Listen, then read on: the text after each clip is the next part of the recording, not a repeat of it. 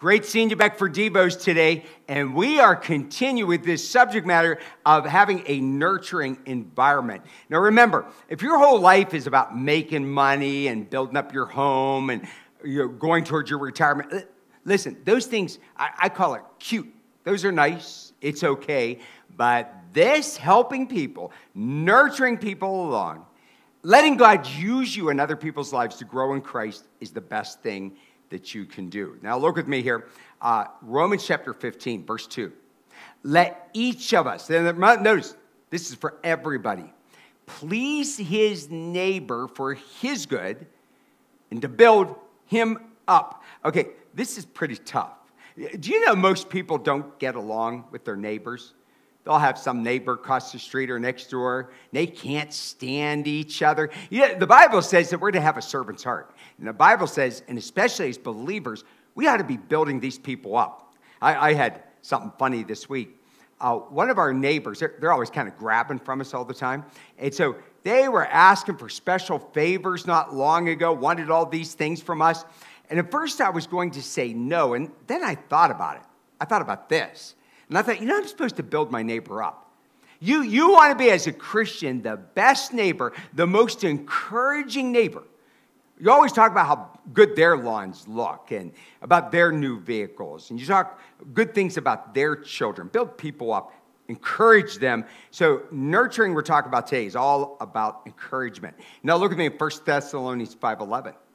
He says, therefore, notice here, encourage one another and build one another, each other up as you are doing. So, meaning your whole life ought to be building up other people. Don't walk around and say, Why isn't somebody encouraging me?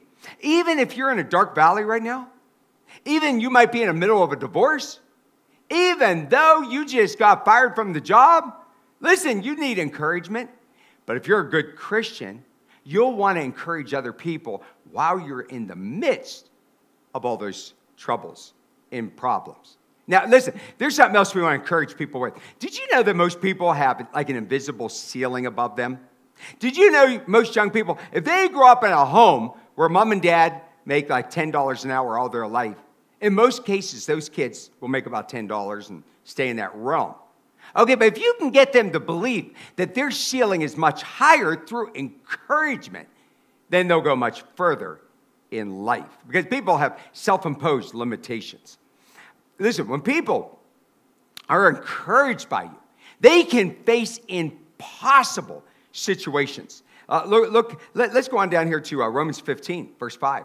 May the God of all endurance, you like it?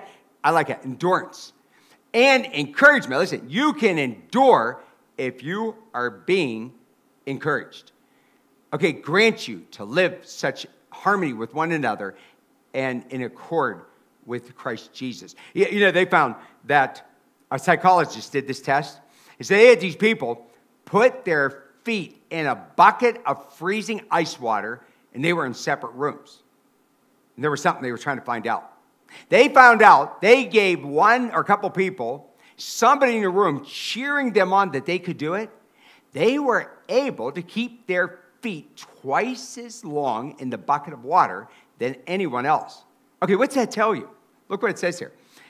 We have the God of all endurance. How do believers endure some of the things in which they go through? Because of this, they have the encouragement that's given by their brothers and sisters in Christ. Now, wouldn't you like them coming up to you one day in heaven say, Wow, I made it through that thing because you encouraged me.